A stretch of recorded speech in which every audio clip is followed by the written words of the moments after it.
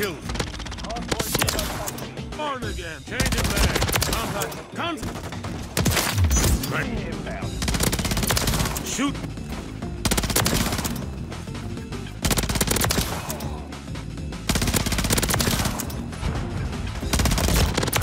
Hey guys, it's Kyle again, and welcome to Modern Warfare 3 Season 4. As usual, we got a bunch of new stuff. The name is bugged, it's not called Molten Obsidian, but this is what the camo is that we're going to get at the end of the season. The aftermarket part turns the M4 into a 50 caliber rifle. I don't think it one-shots like a sniper, but it's going to be very strong. You've obviously got the new DLC maps, you've got Paris 24-7. This map plays very well. I'm loving that map so far. You've got two new DLC guns, you've got this new SMG here. I don't know what it's supposed to be, but obviously we have the Kar 98K Marksman rifle. It's back. It's pretty much the same as the Modern Warfare 2019 version. It's not a hit marker machine. It's very good, and they have some good DLC camos this season. But as always with the start of each season, we're going to be covering the Battle Pass variants. Today's video is on the Hexocore variant for the BP50. This one looks pretty good in game. It looks a bit more golden than yellow in game. You get it instantly in the Battle Pass when you buy it. I'm not buying the Black Cell this season. I don't think the variants look good enough for me to buy it. But the Battle Pass variants, they do look good regardless. I'm going to show you some of these good looking variants, like this one. Here's a decent one. We got a MORS variant. This one's a bit meh, but it, at least it covers the whole gun. This one's decent. This one's decent. I like this one. We got a longbow variant. This one actually looks pretty good for an LMG. Obviously, you've got the Kar 98K variant, Sidewinder. This one's a bit meh, but it's okay. MTZ, Rival 9,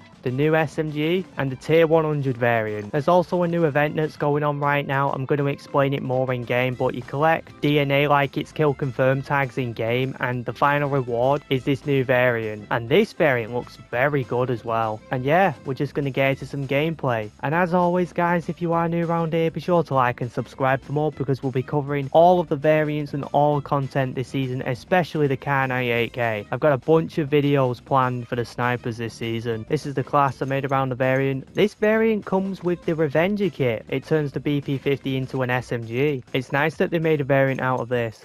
The only things I changed was the laser and the suppressor, but that's pretty much it. These are the perks I always use, this is the vest. And yeah guys, enjoy the video.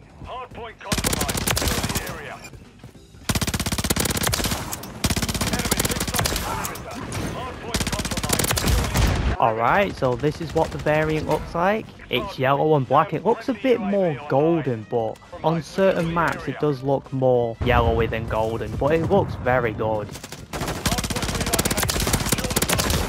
I probably already said this in the class setup, but this thing comes with the aftermarket part for the BP50. This thing feels so good, man. So there's a lot to talk about with this season. A very good season, once again for content. This is the new Paris map. This map plays really well. Honestly, they've genuinely not made a single bad DLC map. There's some that I don't like, but they've genuinely not made a single bad DLC map. There's another two maps that are brand new, and then the Das House remake. I'm gonna go ahead and guess that the Das House remake is for the Vortex Mosh Pit because they're bringing that back again, I think. They're doing another Vortex event at some point this season. For those of you wondering what the DNA strands are people are dropping when they die, it's part of the first event for this season. Basically, you just DNA from people after they die. I don't know. I've probably already shown this in the intro, but I don't know how many of the rewards you've got to actually get to get the variant. I don't know. But yeah, this season's packed with content. The Kar 98K feels amazing. I'm going to make a lot more sniping videos this season.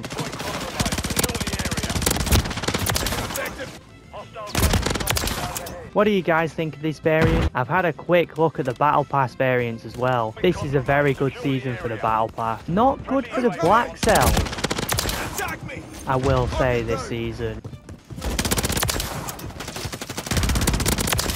If we're being brutally honest,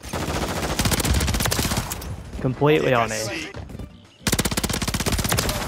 the Black Cell variants for this season, they look the same as the ones from last season, but they've just got green glowy parts of it. Like certain variants have a green magazine, I just, it's not worth it this season. Hardpoint compromised. Secure the area. I'm getting I have been saying I'll buy the black cell if the sniper variant in it is good and the Kar 98k variant in the black cell don't look that great but regardless the battle pass looks very good this season. In regards to buffs and nerfs, for specifically Modern Warfare 3 nothing's really happened. I think it's just a bunch of SMGs for the most part. Thankfully none of the snipers have been nerfed.